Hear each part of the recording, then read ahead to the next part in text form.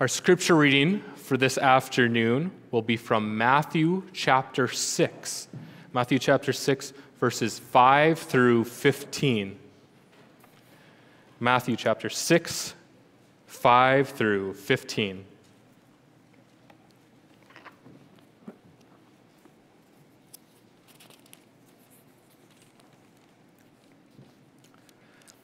And when you pray, you must not be like the hypocrites, for they love to stand and pray in the synagogues and at the street corners, that they may be seen by others.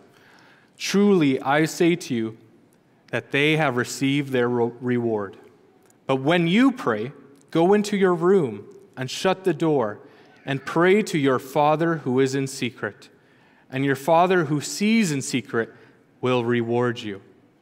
And when you pray, do not heap up empty phrases as the Gentiles do, for they think that they will be heard for their many words. Do not be like them, for your Father knows what you need before you ask Him. Pray then like this Our Father in heaven, hallowed be your name. Your kingdom come, your will be done, on earth as it is in heaven. Give us this day our daily bread, and forgive us our debts, as we also have forgiven our debtors. And lead us not into temptation, but deliver us from evil. For if you forgive others their trespasses, your heavenly Father will also forgive you. But if you do not forgive others their trespasses, neither will your Father forgive your trespasses. The text for this afternoon comes from the Word of God as summarized in Lord's Day 45 in the Heidelberg Catechism. If you would like to follow along, Lord's Day 45 is found on page 559 in the Book of Praise. 559.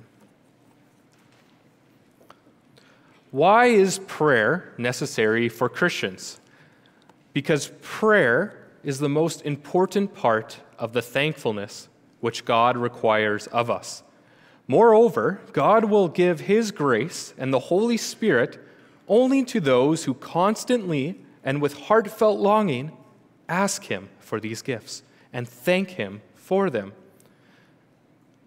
What belongs to a prayer which pleases God and is heard by Him? First, we must from the heart call upon the one true God only, who has revealed himself in his word for all that he has commanded us to pray. Second, we must thoroughly know our need and misery so that we may humble ourselves before God. Third, we must rest on this firm foundation that although we do not deserve it, God will certainly hear our prayer for the sake of Christ our Lord, as he has promised us in his word. What has God commanded us to ask of him? Answer all the things we need for body and soul, as included in the prayer which Christ our Lord himself taught us. What is the Lord's Prayer? Answer Our Father in heaven, hallowed be your name. Your kingdom come, your will be done, on earth as it is in heaven. Give us this day our daily bread, and forgive us our debts, as we also have forgiven our debtors. And lead us not into temptation, but deliver us from the evil one. For yours is the kingdom, and the power, and the glory forever. Amen.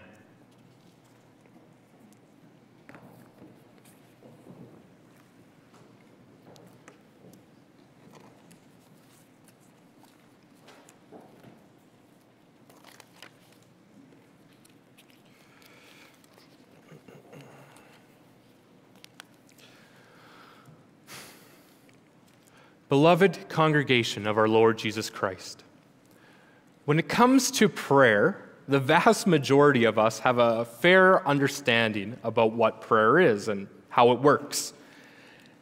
Many of us grew up with this great blessing where we had parents teach us how to pray. And the importance of building this relationship with God. Prayer is wonderful. In prayer, we worship God. We commune with the creator of the heavens and the earth. But even though many of us have this understanding of what prayer is, what would be your response if you were asked, What does prayer look like for you? Would you feel guilty or disappointed? Would you answer maybe saying something along the lines of, Well, I do pray, but I wish I could pray more? And often when I do pray, it can sometimes feel robotic or mechanical or awkward or unnatural or something like that. It is a common problem many believers face if you answered yes to something along those lines. When it comes to individual prayer, it does not have to be awkward. It does not have to be boring or too routine. Instead, our prayer life can become deeply transformative, uplifting, and meaningful in our day to day lives. It is through an active and living prayer life that we are really rooted and built up and connected to our Savior, Jesus Christ. Therefore, this afternoon, we are going to look at this concept of prayer under the following theme and points. The Lord Jesus teaches his followers about prayer. We're going to look at why we are to pray, how we are to pray, and what we are to pray. So, our first point why we are to pray. Have you ever wondered why do we pray? We, we may ask, uh, since God knows everything, He knows our thoughts, He knows our needs, and He knows when to give us things when we need it. Well, why do we really need to pray then? Well, in God's Word, we are given an answer. In Scripture, we are provided with two major reasons as to why we are to pray. The first reason simply is God commands us, and the second is we desperately need it. So, the first, God commands us. This should be relatively simple to understand. In God's Word, our Lord expects His people to call out to Him. We see this reality in Psalm 50, verse 15, for example, which says, And call upon me in the day of trouble, and I will deliver you, and you shall glorify me. God wants his people to cry out to him in prayer with a heartfelt longing. When you're in trouble, when misery surrounds you, when you feel like you are drowning in your current situation, Call out to God, for He alone promises to deliver you. However, we should not only pray to God when we are in trouble. In 1 Thessalonians 5:16 through 18, Paul writes this: Rejoice always, pray without ceasing, give thanks in all circumstances, for this is the will of God in Christ Jesus for you. Paul instructs Christians to rejoice, to pray unendingly, and to give thanks in all circumstances. To rejoice is to have this deep rooted internal joy rather than an outward emotional kind of joy. See, emotional happiness can be taken away from us in an instant one wrong comment from somebody, one bad accident, one bad diagnosis can take away our emotional happiness. But if our joy is ultimately found in Christ, then we can have this internal joy, this internal attitude where we trust in God that He is working everything for good. Nothing is outside His will when we trust God, when we have this peace, having this faith in God will enable us to give thanks to God in all circumstances, because ultimately, this is His will. That is why it's so humbling yet comforting that we can pray, Thy will be done. Because when we pray that, what we are really confessing is what happens in our life is not ultimately up to sinful people or a fallen world or to us, but a gracious God who loves us dearly. The last thing that should be noted under this idea that God commands prayer is that Jesus tells his followers to do it. In Matthew chapter 7, 7 through 8, Jesus says, Ask, and it will be given to you. Seek, and you will find. Knock, and it will be opened to you. For everyone who asks receives, and the one who seeks finds, and to the one who knocks it will be opened.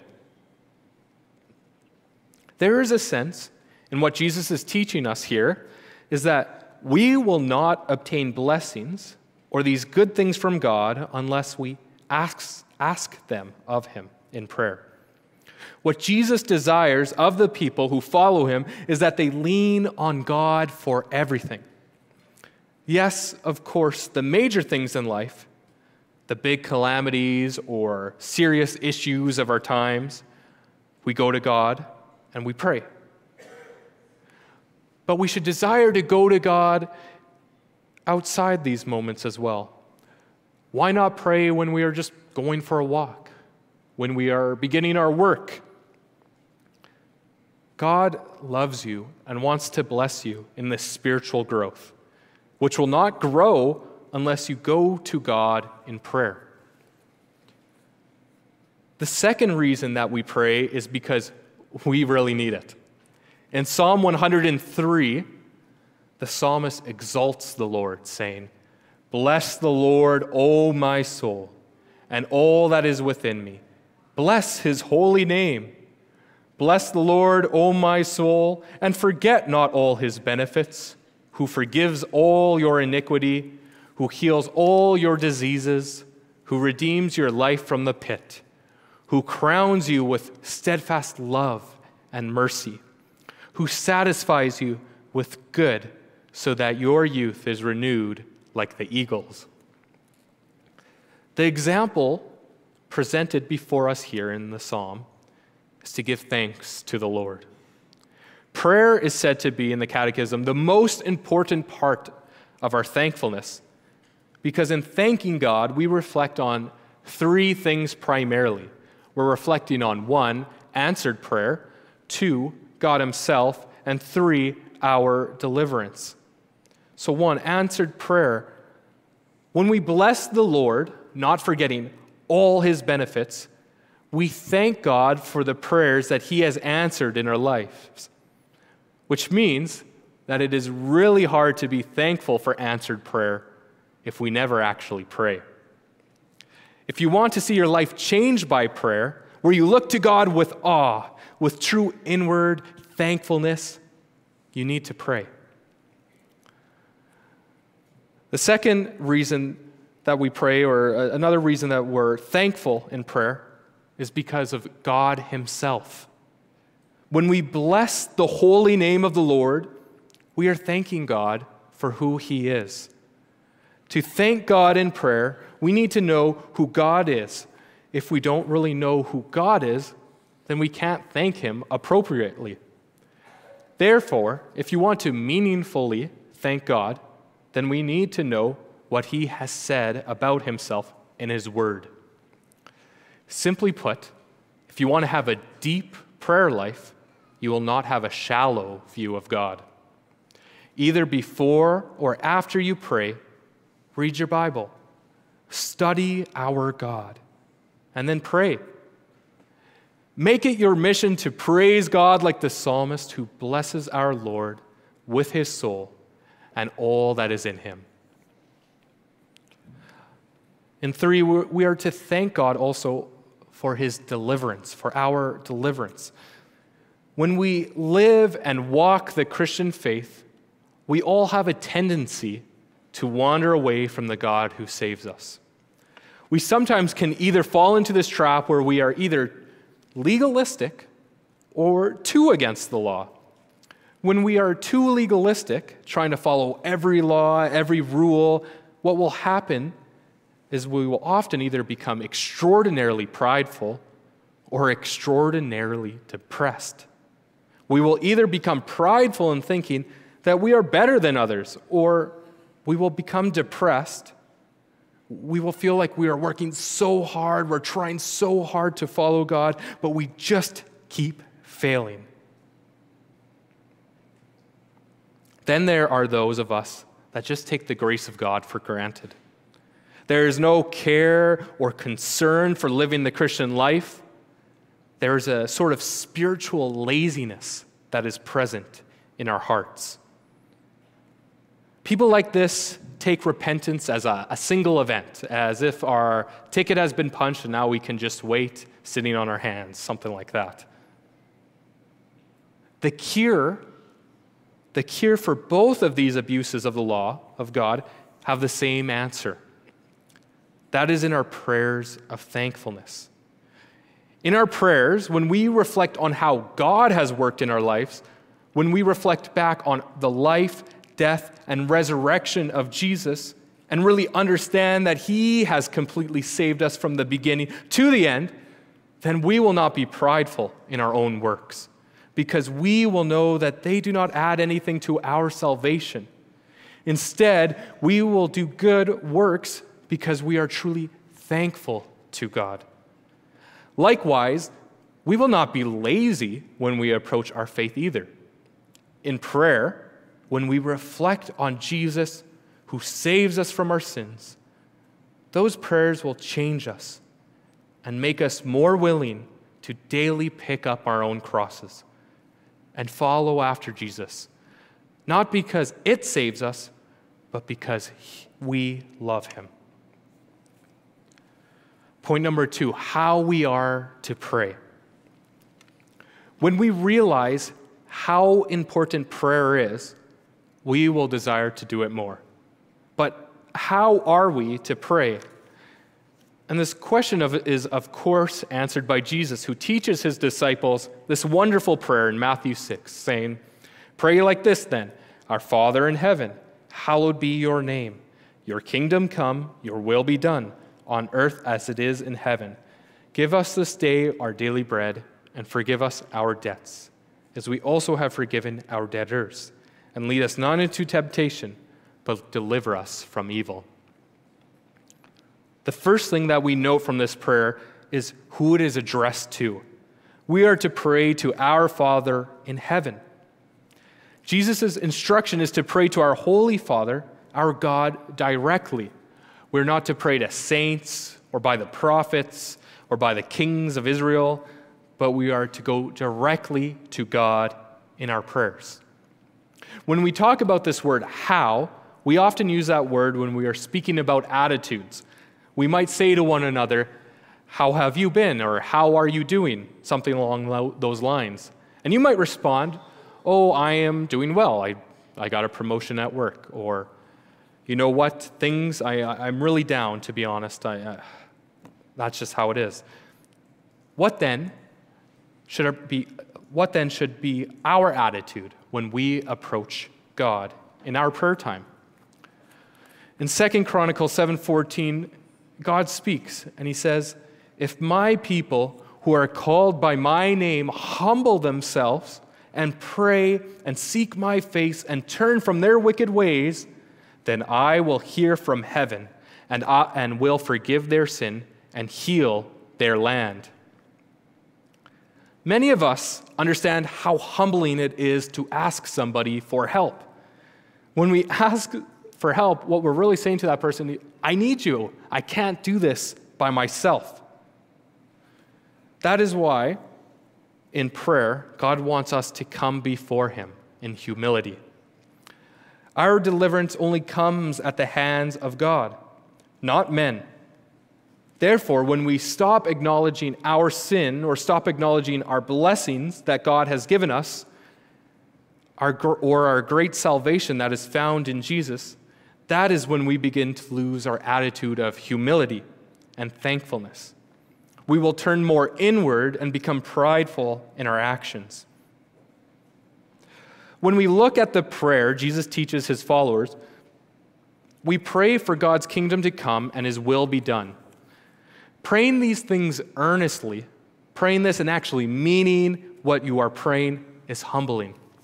It is humbling because we acknowledge in prayer that this world is not our kingdom, not about my will, my desires triumphing, but God's will triumphing. In short, to remain humble is to remain in prayer. One of the last things the Catechism notes in question and answer 116 is that God will certainly hear our prayers. When we approach God in prayer, do we have a trust or assurance that He will hear us? In John 14, 13 through 14, Jesus says, Whatever you ask in my name, this I will do, that the Father may be glorified in the Son. If you ask me anything in my name, I will do it. We can ask anything in Jesus' name. Jesus is our mediator, our great high priest that came to earth for our benefit. Jesus hears all our prayers.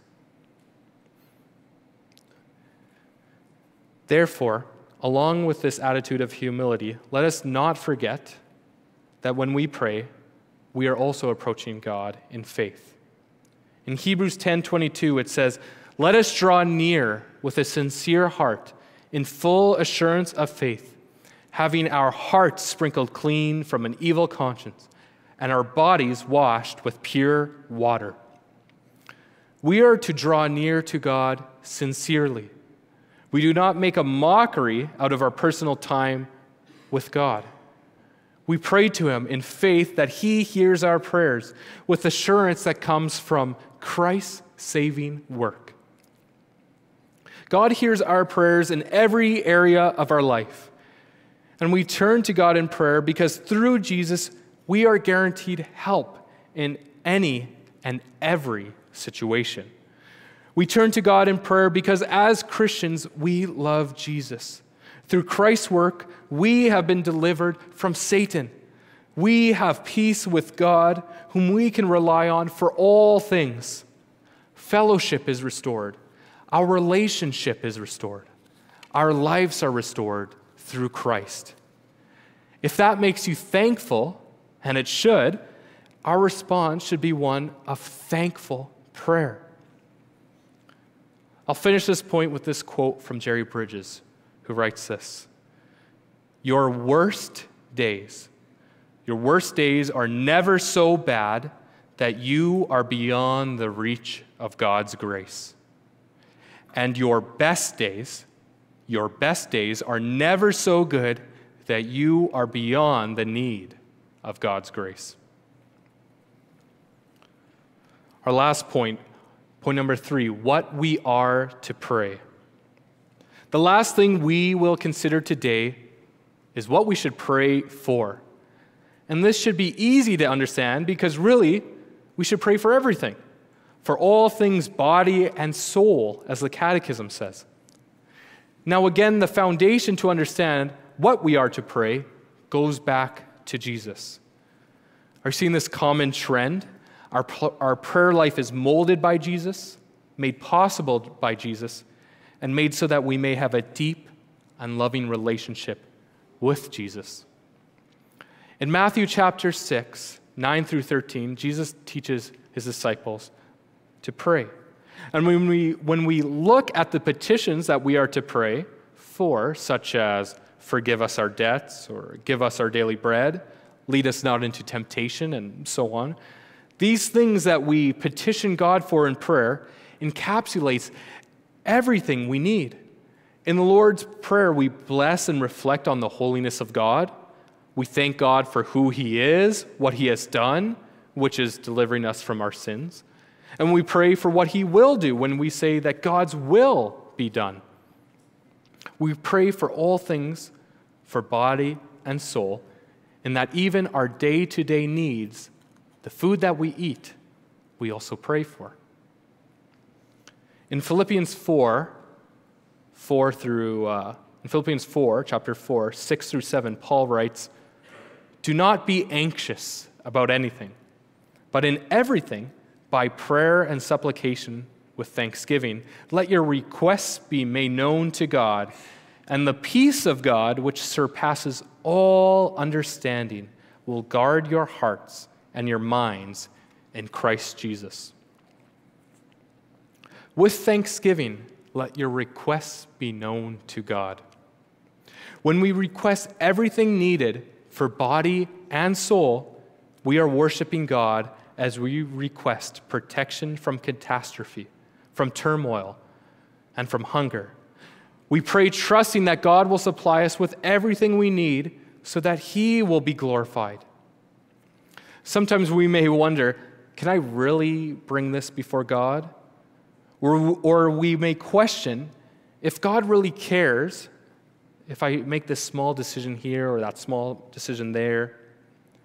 But when we have this attitude where we look to God, not only when it comes to, when it, uh, sorry, we, when we have an attitude where we look to God, not only when it comes to the big things in our lives, but also the small things, we will live a life where we experience God in the day to day, not just the Sunday. When we make it our mission to pursue God, to pray and to read and to follow Christ, not out of obligation, but out of reverence and love, that's when our lives are transformed. As we are being conformed more and more to be like Jesus. To some extent, this old saying has a ring of truth to it. Whatever is not done in prayer is done in pride. The final point we want to make this afternoon is from Matthew chapter 6. Before Jesus gives his disciples this famous Lord's Prayer, he warns his listeners. Jesus says in Matthew chapter 6, verses 5 through 6, saying, And when you pray, you must not be like the hypocrites, for they love to stand and pray in the synagogues and at the street corners, that they may be seen by others. Truly, I say to you that they have received their reward. But when you pray, go into your room and shut the door and pray to your Father who is in secret. And your Father who sees in secret will reward you. One of the warnings Jesus tells us about here is not to pray like the hypocrites. So, what were they doing that was hypocritical according to Jesus? Well, the Pharisees, or uh, these religious authorities, prayed to God in public, which was not the problem. The problem with the Pharisees was their motive. The Pharisees prayed to God, but their desire was to be seen by men. They wanted to be seen as these godly people. They wanted this prestigious status as holy men. The problem with the Pharisees was not because they did not believe in God, they were not atheists after all. The problem that Jesus was exposing of these people was that they treasured something more than God Himself. When we hear the word hypocrite, especially in a church context, we tend to immediately jump to the Pharisees. And that's fair. After all, Jesus critiques them a lot and he's critiquing them here in this passage. But all of us can become religious hypocrites when we pray to God, yet treasure something else as greater than who we claim to worship. What we treasure will shape how we pray. If the only time we go to God in prayer is in times of turmoil, that can be evidence that our treasure is something other than God. In other words, the thing we value most in life, when that thing is threatened, and that is the only time we're going to God in prayer, and then in that instance, we are not coming to God in humility or thankfulness or true faith. We are coming to God to get something out of Him. And this can happen to all of us. When things are going bad, we cry out to God. We spend day after day, night after night in this deep, devout prayer. But what happens? Uh, things start going good, our life gets easier, and our prayer life disappears. When we are in this type of prayer, when we're in this type of routine where we're only crying out to God when things really get bad in our lives, we run a serious risk of being hypocrites we're not really worshiping in faith, but praying like hypocrites. Proverbs 4:23 says this. Keep your heart with all vigilance, for from it flow the, the springs of life. In Scripture, the heart is the innermost center of the human person. True prayer must come from the heart that loves and desires Jesus. In Matthew 5 8, Jesus says, Blessed are the pure in heart, for they will see God. When we have Jesus as our ultimate treasure, our faith is impossible to shake because despite tribulation or sword, we can rejoice knowing that our treasure is secured. Through heartfelt prayer, we have this relationship with Jesus. The Jesus who never changes, the Jesus who has victory over life and death the Jesus who loves you and continually intercedes on your behalf is calling. Prayer at times may not feel natural because naturally we are alienated from God. But with humility and with heartfelt longing, we can pray to God. It might look something like this Lord of the heavens and the earth, my heart is hard, and I do not desire you like I should. I do not revere you as I should.